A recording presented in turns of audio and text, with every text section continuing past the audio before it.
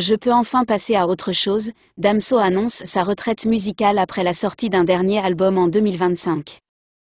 Le rappeur belge Damso a bel et bien conquis le public de l'Hexagone.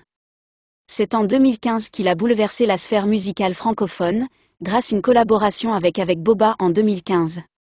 Ce dimanche 21 juillet 2024, l'artiste a pourtant annoncé que l'album qu'il sortirait en 2025 serait son dernier. Damso n'a plus rien à prouver. Voilà quelques années que le rappeur belge originaire de Kinshasa, Congo, trône sur le rap francophone. C'est en 2015 que les amateurs de hip-hop ont découvert cet ovni de la musique, grâce au morceau Pinocchio, en featuring avec l'artiste controversé Boba.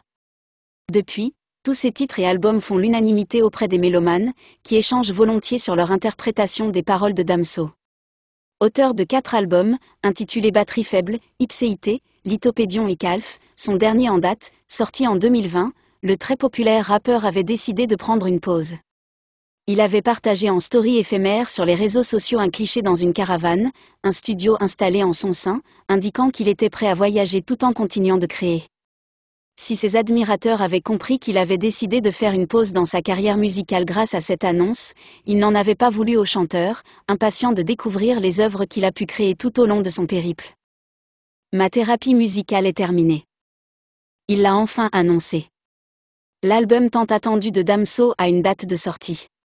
Sur son compte Instagram ce dimanche 21 juillet 2024, l'artiste a partagé un cliché, sourire aux lèvres, l'air apaisé, avec une description qui a pris de court ses admirateurs. Bi sera mon dernier album.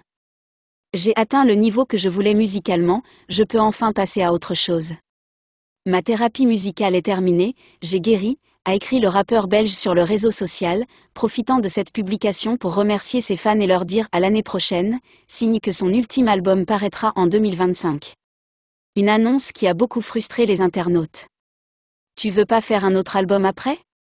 Comme ça tu es bien sûr d'être guéri musicalement, je vais me rendormir, je pense que ça doit être un mauvais rêve, il est désormais guéri mais il nous rend triste, c'est juste magnifique que la musique puisse guérir, tu vas manquer à ce monde, a-t-il été possible de lire sous le cliché de l'interprète de Macarena Un album qui risque de marquer à jamais la musique francophone.